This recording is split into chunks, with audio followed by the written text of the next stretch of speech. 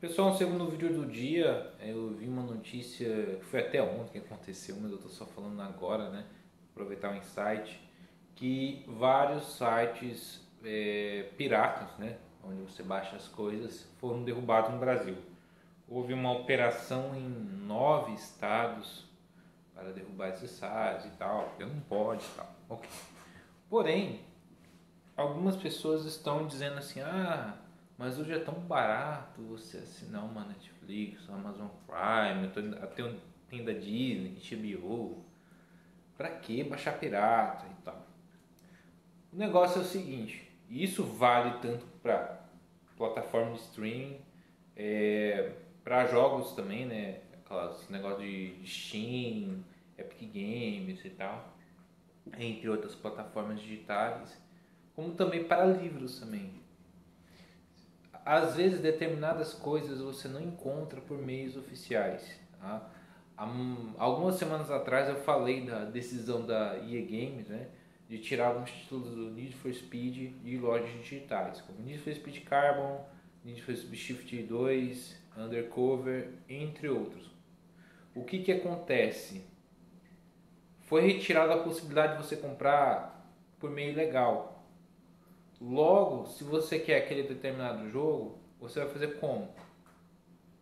Baixar em sites não oficiais. Mesma coisa, tem séries e filmes e animes que você não encontra nessas plataformas de streaming. Ou eles tiram um catálogo, ou nunca foi pro catálogo. E você quer assistir aquilo, você vai para para quê? Sendo que às vezes o próprio YouTube também derruba. Você vai apelar para quê? Para esses sites. Esse é o fato. Por exemplo, ano passado eu queria Yu Yu Hakusho, eu baixei pirata, baixei no torrent. Pra, eu não achava em nenhuma plataforma de streaming, nenhuma tinha. Hoje parece que tem na Netflix. Mas eu, eu queria assistir. Beleza, não tinha. Apelei para pirataria. Eu tô vendo Inuyasha no Amazon Prime, onde dizem que é muito cortado, muito censurado. Aí eu vou querer assistir o, sei lá, mais fiel à obra, né, que seria legendado em japonês, vou ter que ver e-mails não oficiais.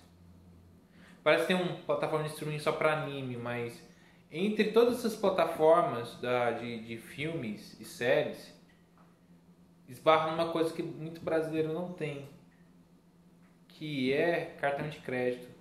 Nem todo brasileiro tem cartão de crédito. Muitos brasileiros nem não tem banco tem. Eu tenho um conhecido meu, amigo meu, que ele perdeu uma oportunidade de trabalhar numa parada que ele não tinha nunca criou uma conta uma conta em banco. Ele tem mais ou menos a idade que eu ele não nunca teve conta em banco. Aí tipo assim tá imagine um cartão de crédito. Tem que ver por meios não oficiais. E é foda a parada é que esses sites tipo de, de pirataria por mais que seja uma coisa errada malvada porque está roubando a tal da propriedade intelectual, mas eles são repositórios. Muita coisa que essas plataformas não querem mais oferecer, como os próprios jogos antigos, jogos de consoles que tem a parada de emulação, você não encontra por meios oficiais. Se você quiser, por exemplo, jogar um jogo que só sair para aquele console, você não consegue mais adquirir o console. Imagine o jogo físico, o jogo original apelar para pirataria e para emulação. Porque é a única forma de você preservar aquilo. Entendeu? Livros em PDF, nem, nem toda publicação você vai achar por meios oficiais.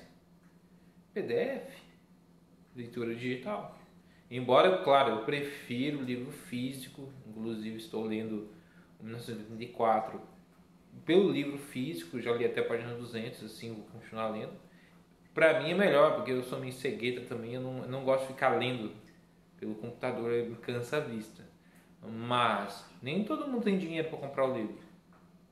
E eu acho que, pelo menos na minha opinião, o conhecimento ele tem que ser passado para frente. Claro, sem sacanear o autor, mas é complicado. O autor já morreu, né? Mas enfim, quem tem os direitos da obra? Mas é isso.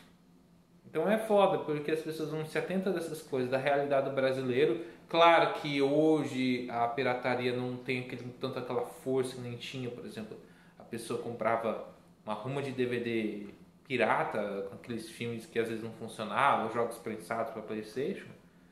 Mas ainda tem aquelas pessoas que não têm aquela condição de, de, de adquirir produtos originais. Eu tenho jogos na Steam, assim, mas eu não fico tacando pedra aqui embaixo do jogo pirata.